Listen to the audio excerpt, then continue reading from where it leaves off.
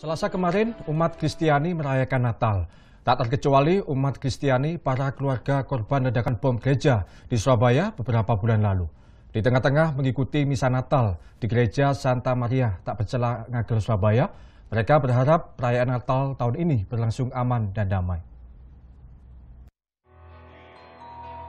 Adapun di Surabaya, perayaan Natal di Gereja Santa Maria tak bercela di Ngagel Jaya Madia Surabaya, Jawa Timur berlangsung dengan hikmat. Misa Natal kali ini juga dihadiri puluhan keluarga korban ledakan bom yang terjadi pada 13 Juni 2018 kemarin.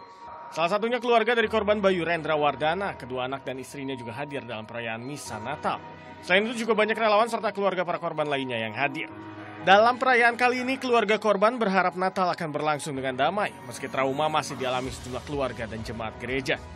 Meski masih alami trauma terhadap peristiwa pengeboman, para keluarga maupun korban sudah mulai memaafkan para pelaku dan mulai melupakan tragedi ledakan bom dengan cara menyebarkan kebaikan. Tema Natal kami merayakan kelahiran kasih yang berkorban dan menyatukan. Kami sadar bahwa apa yang kami rayakan ini, kalau dulu kami dibom dengan kebencian, gitu ya. Kami sekarang kami sadar bahwa saatnya kami ngebom dengan kasih, ngebom dengan pengampunan, ngebom dengan pengorbanan macam itu. Sementara itu dalam kunjungannya, Forum Pimpinan Kepala Daerah Gubernur Soekarwo menjamin keamanan dalam perayaan Natal dan Tahun Baru ini.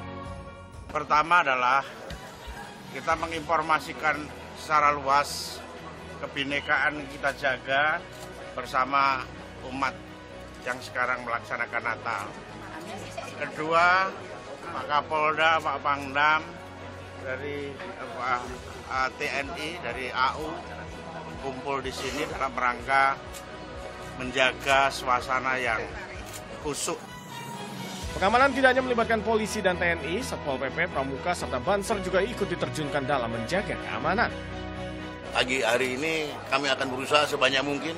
Kami datang ke gereja-gereja untuk memberikan rasa aman, rasa nyaman, dan ikut uh, uh, kegembiraan ya, untuk uh, para jemaah yang memang hari ini merayakan uh, Natal. Itu aja. Terima kasih. Dalam pengamanan kali ini, lebih dari 3.000 petugas gabungan dikerahkan untuk menjaga keamanan selama pelaksanaan misa Natal. Sony Misdananto melaporkan untuknya.